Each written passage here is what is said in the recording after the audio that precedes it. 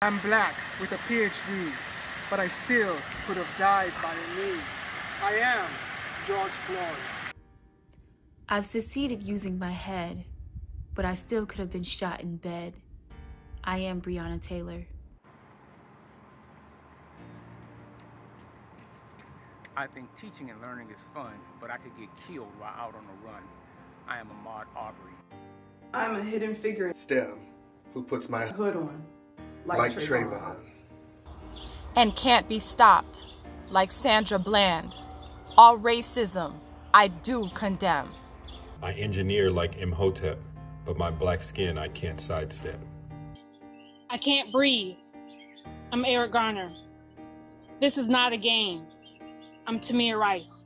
What if I'm next? Then it's hashtag Denise R. Simmons. If it's hashtag Leroy Long, I am Laquan McDonald. I am Aiyana Stanley Jones. I am Walter Scott. I am Katherine Johnson, Philando Castile, Alberta Spruill, and Samuel DuBose. We, we will, will not be silent. It is our turn to have a say. So on behalf of the STEM community, this is what black STEM faculty like us have to say. It says PhD outside of our office doors, but we still get mistaken for janitors. And we love our custodians. There's no hierarchy when it comes to black labor. They allowed us to get where we are. Say something back, to speak up and speak out, then we get blacklisted or just get kicked out. Love to teach, only to get called bad names. Names they wouldn't own if you called them out.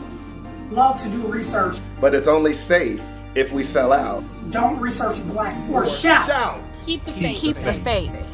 Black lives matter. Black lives matter. Black lives matter. Black lives matter. Black lives matter. Black lives matter. Black, Black lives. lives matter. I'll rise up. I'll rise like the day. I'll